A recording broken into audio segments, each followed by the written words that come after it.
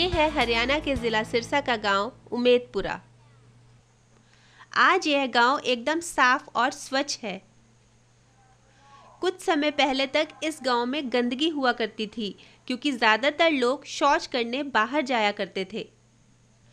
एक दिन डीआरडीए सिरसा की संपूर्ण स्वच्छता अभियान की टीम ने गाँव का दौरा किया।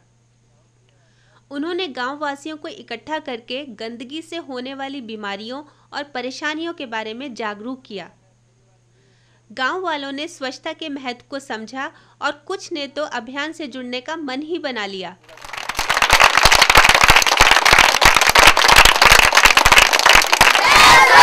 जय स्वच्छता। जय स्वच्छता। जय स्वच्छता। जय स्वच्छता।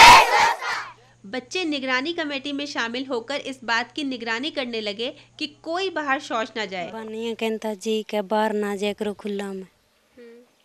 यहाँ का बच्चा पर बाहर पढ़ाएँगे जो। नहीं मानता था उसको कैसे समझाया?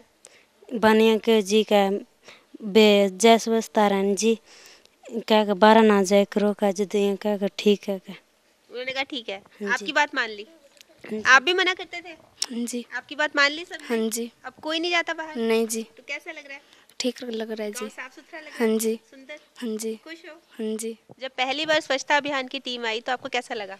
जी अच्छा लगा आपको प्रोग्राम दिया ना आपको बड़ा अच्छा लगा फिर आपने कहा भी आपको आप खुद चलो। इसके बाद में हम पंचायत के मैं खुद जा रहा ये टीम के बच्चों के साथ। तो वहाँ मैं कई जगह रात को भी टाइम लगाया चार बजे चले गया। यहाँ रोके दो एक आदमी आए आए बूढ़ा वडेरे बच्चे कोई भी बाहर फिर जा रहे उसको बोतल लेके मुझे ऐसा नहीं फिर आप कोई खुदा आप ही कर। तो आपने रोका लोगों को? हाँ जी। तो अब कोई नहीं जाता क्या बाहर? नहीं जी।